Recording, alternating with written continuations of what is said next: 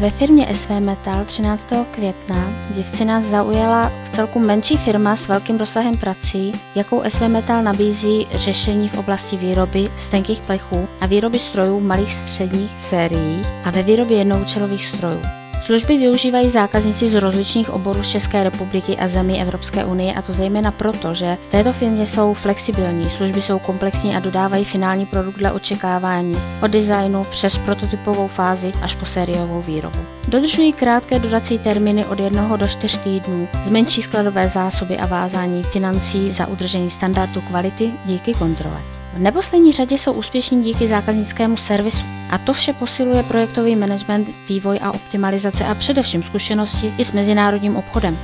Firma se specializuje na malosériovou a středně sériovou výrobu a má specializované výrobní jednotky rozmístěné po celé České republice.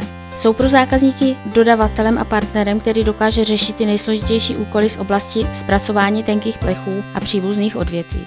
K jejich principům, které deklarují, patří chovat se ohleduplně ke svému okolí, samostatnost, vysoké nasazení, náročnost sobě i druhým, respekt k ostatním zákazníkům i kolegům.